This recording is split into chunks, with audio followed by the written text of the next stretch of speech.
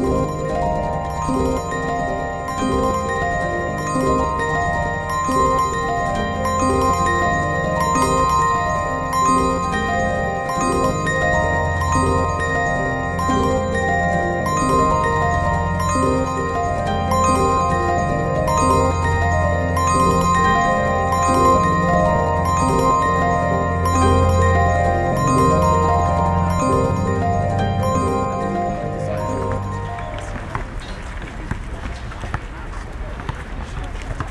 I've just woken up and, uh, and someone sent me a text saying uh, there's armed police in the club.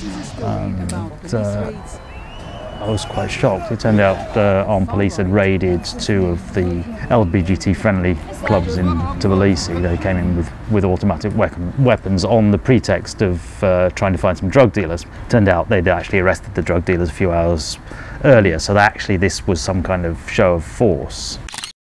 Everyone went out on, onto the streets to demonstrate the next day and blocked the main boulevard of the city, um, set up a sound system on the steps of Parliament and demonstrated for two days because they, they kind of felt their generation their, and their freedom was, had been attacked. I mean, in the context of Georgia, which is a former Soviet republic, um, this is kind of the first mass youth movement of people who grew up with no memories of living on, under the communist regime.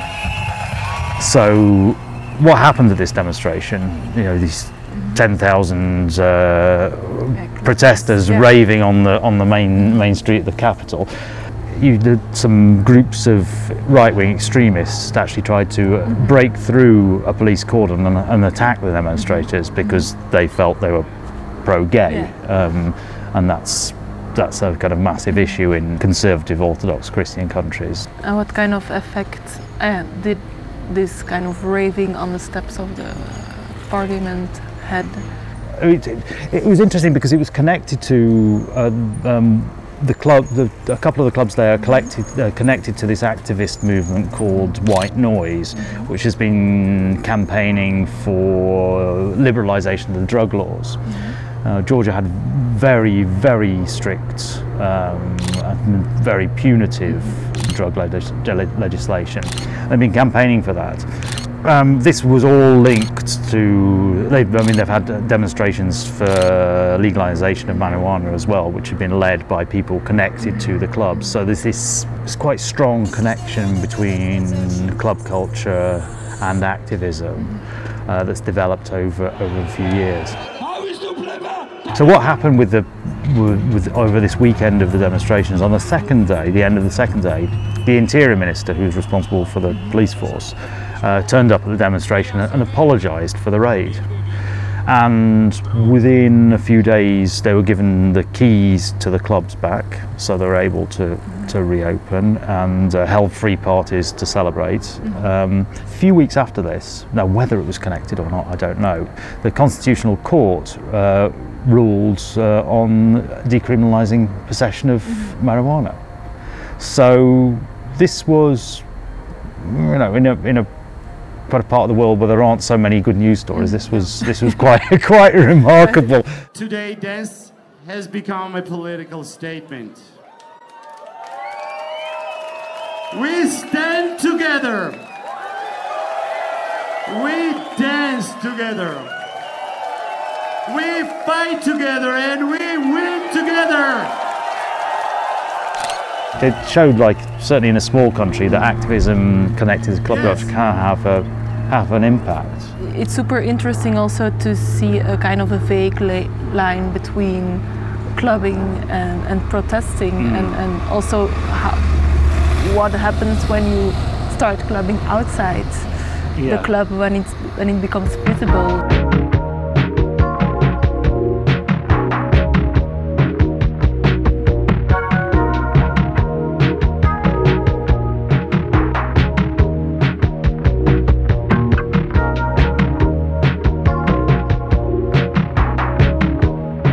Clubs are commercial and indeed they are interested in how they entertain people and how they can earn something. Mm-hmm. And in the 70s, that was not the big money, but they earned something. And I think more the political clubs, the smaller clubs, are more people that saw like an, an opening where like I have to do this because it's really important that my community that was often a minority has a, a, place where they can express themselves and be free. I mean, this was obviously Yeah. the origins of, Yeah. of house music and techno. Yeah. They came out of black and gay communities in the United States. That was that was the whole origin of the music that has become this enormous globalized, hyper Yeah. commercialized culture.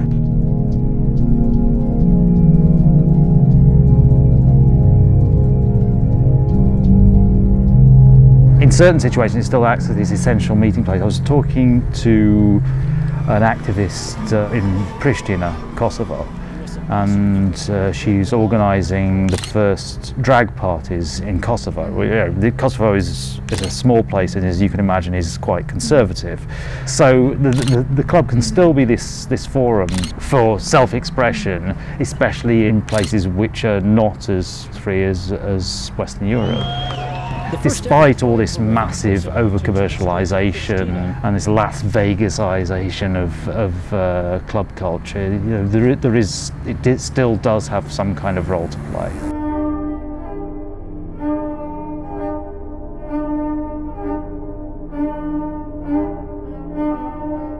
I think it's especially now with this culture is decades old, we need to be thinking much more about what it means and uh, challenging some of the norms that have become informally established, like this lack of diversity.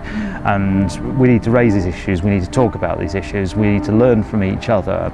I think indeed it's really important to kind of develop also a discourse on uh, the politics of dancing because it's such a broad uh, notion that it's I think important to talk with each other and with people from different backgrounds to know what is it and where do we want to go and what, what is the future uh, somehow. And to make connections that maybe lead to some kind of action or activity in the future.